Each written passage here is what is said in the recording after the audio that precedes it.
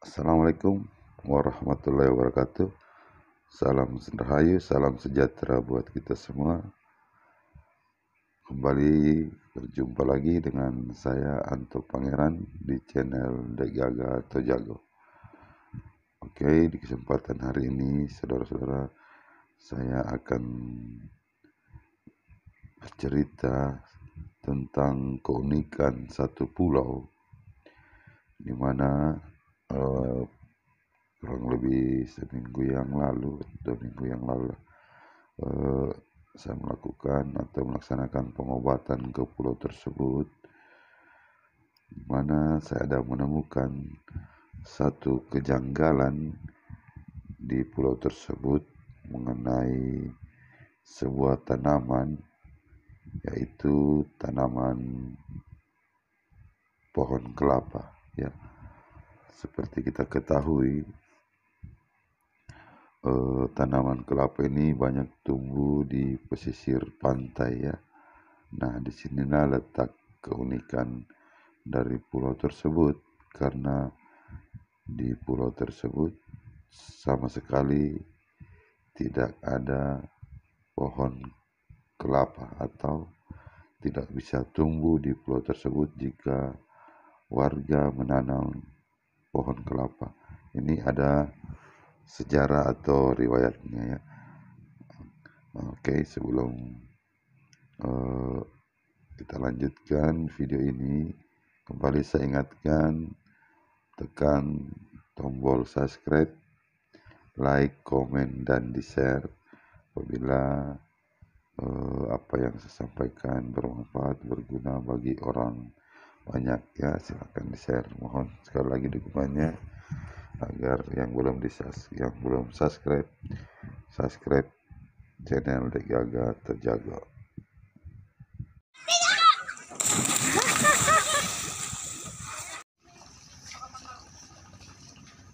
helikopter kita masuk nih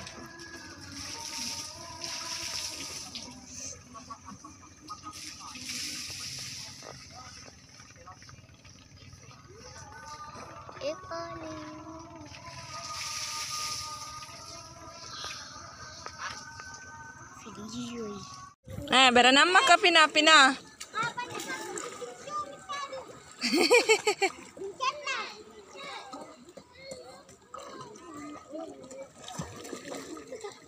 Hai guys, kita mandi-mandi.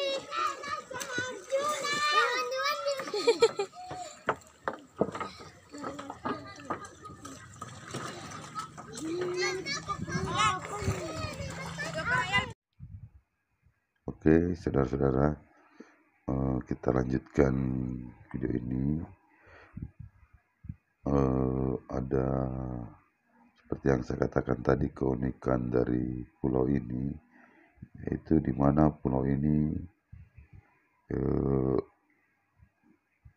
tidak boleh tumbuh tanaman atau pohon kelapa ya Ya, letaknya pulau ini di Pulau Karandrang, sebuah pulau di Kabupaten Pangkep, Sulawesi Selatan. Ya, ini menurut sejarah uh, atau cerita orang-orang tua di pulau tersebut, uh, dahulu pohon ini, eh, ke pulau ini banyak uh, buah kelapa atau pohon kelapa yang tumbuh di sekitaran pulau ya. Tapi uh, setelah suatu kejadian aneh terjadi di pulau tersebut uh, sehingga berselang beberapa lama tanaman-tanaman atau pohon-pohon kelapa yang berada di pulau tersebut semuanya uh, musnah atau mati ya. Dan jika uh, warga di sana mencoba menanam kembali uh, pohon kelapa tersebut uh, atau menanam yang baru itu tidak akan tumbuh ya. Dan kalaupun tumbuh itu tidak akan berbuah. Dan kalaupun berbuah katanya orang yang menanam pohon kelapa tersebut eh, tiba-tiba sakit kemudian eh, meninggal. Ya. Ini keanehan eh, yang terjadi di Pulau Karandang tersebut. Eh, mungkin saudara-saudara semua penasaran apa yang menyebabkan sampai hal ini terjadi di pulau tersebut ya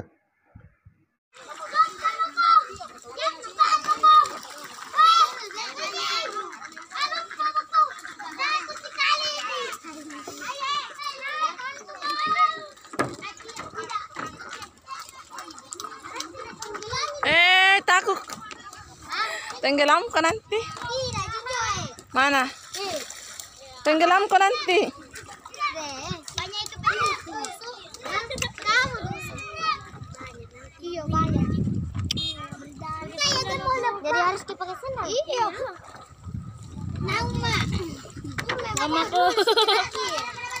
Kamu harus pergi. Di malam kok lah kamu di mana? Dalam ginda pintar ko berenang kau. Bodoh itu namanya. Kapi. Ano eh? Aos.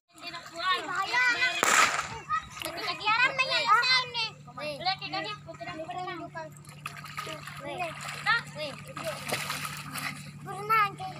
Tidak. Bakit? Apa? Ikan.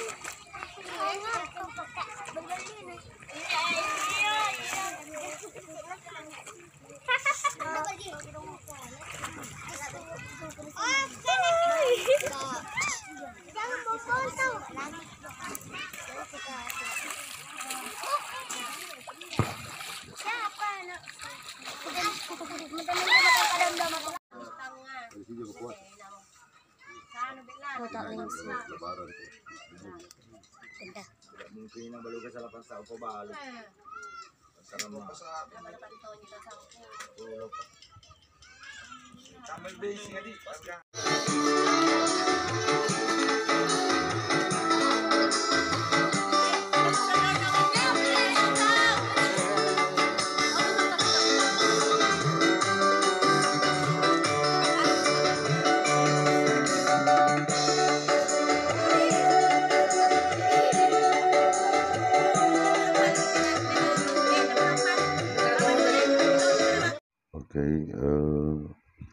Lanjutkan videonya. Sebenarnya pada saat eh, menggali keterangan tentang pulau tersebut, saya ingin melakukan video siaran video ya ke dengan warga, tetapi warganya menolak. Entah kenapa takut tuh, untuk menyebarluaskan berita ini atau hal lain entahlah yang jelas warga mau menyampaikan kronologis kejadiannya atau sejarah kejadiannya tetapi mereka tidak mau divideokan ya. Oke kita lanjutkan. Eh, menurut informasi atau sejarah eh, pulau tersebut sampai tidak boleh atau tidak tumbuh tanaman pohon kelapa. Nah, sebenarnya di pulau tersebut dulu banyak sekali tanaman pohon kelapa ya bahkan di keliling setiap pesisir pantai itu keliling pulau itu dipenuhi pohon-pohon kelapa.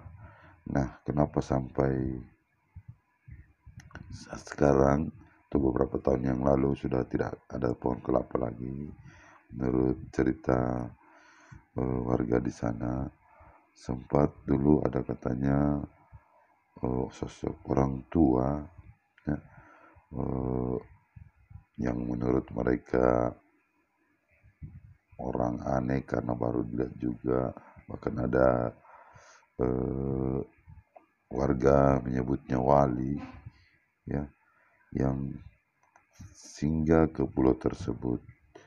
Ya katanya menurut warga mereka naik kapal tapi kap, eh, kurang jelas juga kapalnya nggak dilihat. Tapi yang jelas dia orang tua tersebut sudah ada di pemukiman warga dan meminta air kelapa muda di oleh penduduk di pulau tersebut ya.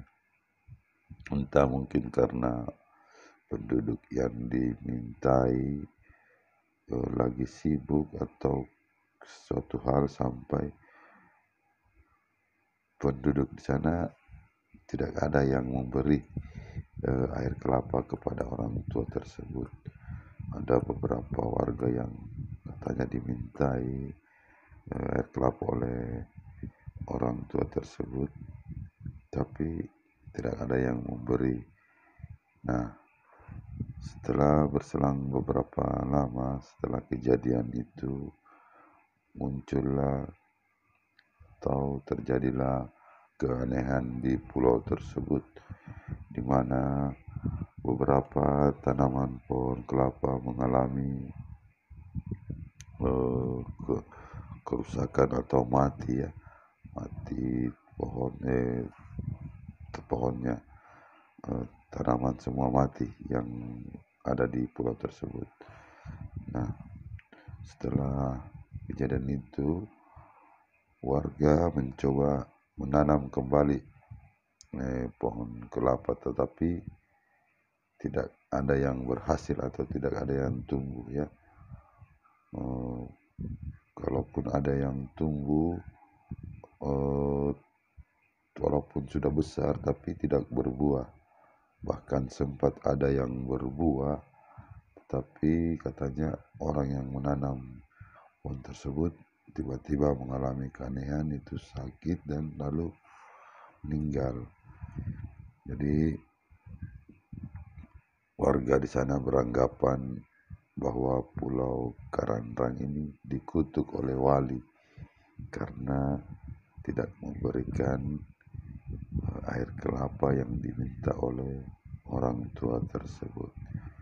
Nah, mungkin kita tahu semua uh, tanaman atau pohon kelapa itu tumbuhnya di pesisir pantai hampir setiap pulau atau di pesisir pantai itu ditumbuhi pohon-pohon kelapa.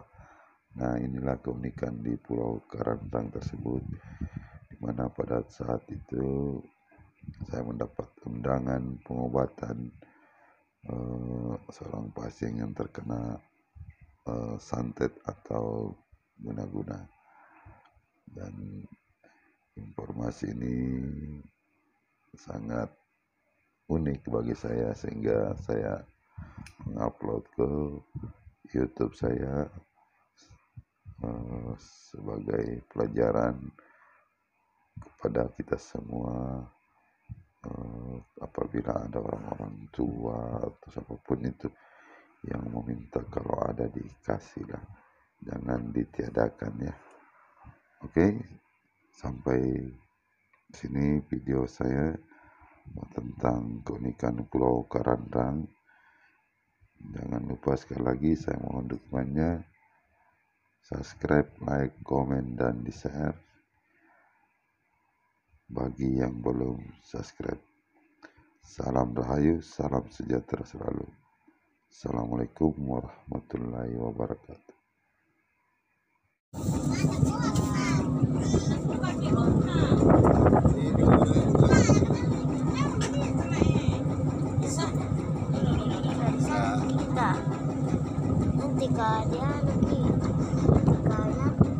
Tidak, Ji.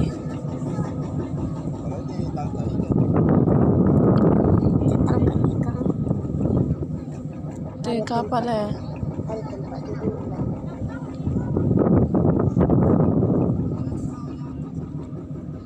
Pegang ka na.